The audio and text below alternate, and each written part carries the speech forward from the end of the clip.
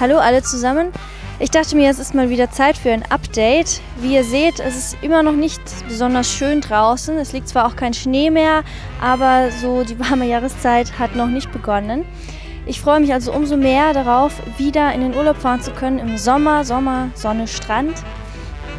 Dieses Jahr wird es nach Lanzarote gehen, nach New York City, eventuell auf die Comic-Con in Stuttgart, also Städtereise und vielleicht sogar noch Ibiza und dann noch Italien. Das, sind so die Pläne bisher. Vielleicht ergibt sich ja noch der ein oder andere weitere Aufenthalt. Wir werden es sehen.